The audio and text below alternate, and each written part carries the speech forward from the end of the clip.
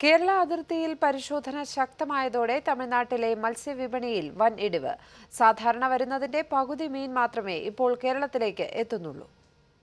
இது ஃபுல்லாக நாங்கள் ஏற்றினோன்னா ஏறக்குறைய நாலு டன் மீன் ஏற்றுவோம் ஆனால் இன்றைக்கி வந்து ஒன்றரை டன் மீனோட அஹ், வண்டி அனுப்புகிறோம் என்ன காரணம்னா அங்கே வந்து விலையும் வந்து கம்மியாகி போச்சு வாங்குகிற மக்களுடைய விருப்பமும் கம்மியாகி போச்சு ചെന്നൈ കാശിമേട്ടിൽ നിന്നും മുൻപ് അറുപത് ടണ്ണിലേറെ മീൻ കേരളത്തിലേക്ക് പോയിരുന്നെങ്കിൽ ഇപ്പോഴത് മുപ്പത് ടണ്ണിലും താഴെ മാത്രം കേരളത്തിലെ ട്രോളിംഗ് നിരോധന കാലം മുന്നിൽ കണ്ട് കച്ചവടത്തിന് ഒരുങ്ങിയവർക്കും പുതിയ സാഹചര്യങ്ങൾ അപ്രതീക്ഷിത തിരിച്ചടിയായി എല്ലാ പ്രതീക്ഷകളും നശിച്ചു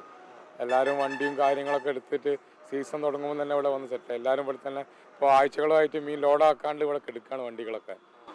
ധാരാളം മീൻ ലഭിച്ചിട്ടും നഷ്ടമുണ്ടാകുന്നതിന്റെ വിഷമത്തിലാണ് ബോട്ടുടമകൾ நான் ஒரு ஆறு லட்சம் செலவு பண்ணி இப்போ போட்டு அனுப்பினேன் எனக்கு மூணு லட்சம் இப்போ சேல்ஸ் ஆச்சு அதனால் எனக்கு மூணு லட்சம் நஷ்டம் ഫോർമലിൻ അടക്കമുള്ള രാസവസ്തുക്കളൊന്നും മത്സ്യം കേടുവരാതിരിക്കാൻ ഉപയോഗിക്കുന്നില്ലെന്ന് അവകാശപ്പെടുന്ന കച്ചവടക്കാർ പ്രതിസന്ധി പരിഹരിക്കാൻ ഇരു സംസ്ഥാനങ്ങളിലെയും സർക്കാരുകൾ മുൻകൈയെടുക്കണമെന്നാണ് ആവശ്യപ്പെടുന്നത്. ചെന്നൈയിൽ നിന്നും Anoop കൃഷ്ണയ്ക്കൊപ്പം C V Anumod Asianet News